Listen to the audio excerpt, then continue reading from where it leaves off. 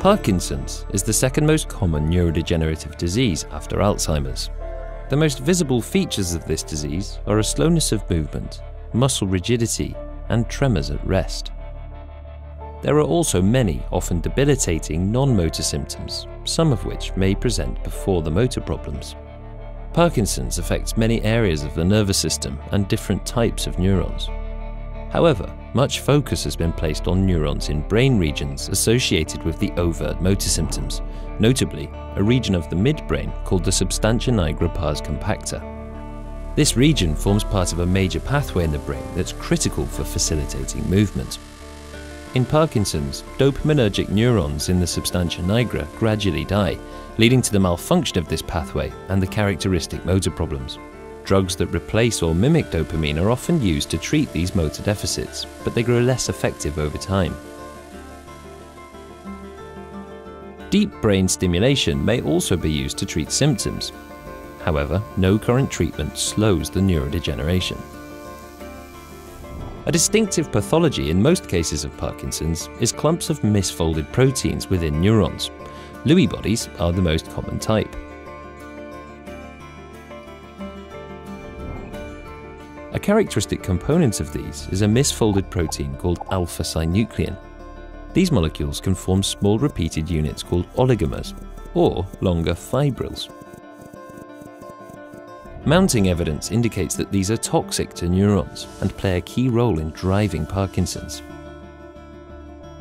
Unwanted proteins are normally cleared by the cell's different types of protein-degrading machinery, some evidence points to these systems being overwhelmed by misfolded alpha-synuclein, and this might be a key factor in what kills the neurons. Parkinson's has also been linked to problems with mitochondria. Mitochondria provide cells with the energy to perform vital functions. They're highly dynamic and can fuse together or break up into smaller versions in response to a cell's energy demands. They can also be transported to areas of a cell that need them the most, However, in Parkinson's, these processes can be impaired, and mitochondria are unable to sustain proper neuronal function. As they become old or damaged, mitochondria are removed and replaced. Again, this recycling is thought to be disrupted in Parkinson's, leading to the accumulation of damaged or worn out mitochondria.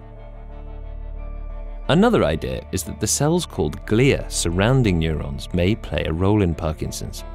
As dopamine neurons are lost, one particular type of glial cell, called microglia, is thought to take up the resulting cellular debris, triggering an immune response. Once activated, they release inflammatory cytokines, which activate neighboring microglia and another type of glial cell called astrocytes. Chemicals released by activated microglia and astrocytes have been shown to injure neurons, it remains unclear which mechanisms drive the disease process in Parkinson's. What is clear is that with time, more areas of the nervous system develop pathology. And one emerging idea is that this happens through the transmission of misfolded alpha-synuclein. While the multifactorial nature of Parkinson's disease progression might make it hard to fully understand, it does provide a number of potential therapeutic targets for slowing or even halting the neurodegeneration. For example, enhancing the clearance of abnormal proteins and blocking their transmission, improving the function of mitochondria, and targeting the neuroinflammation are all currently active areas of research.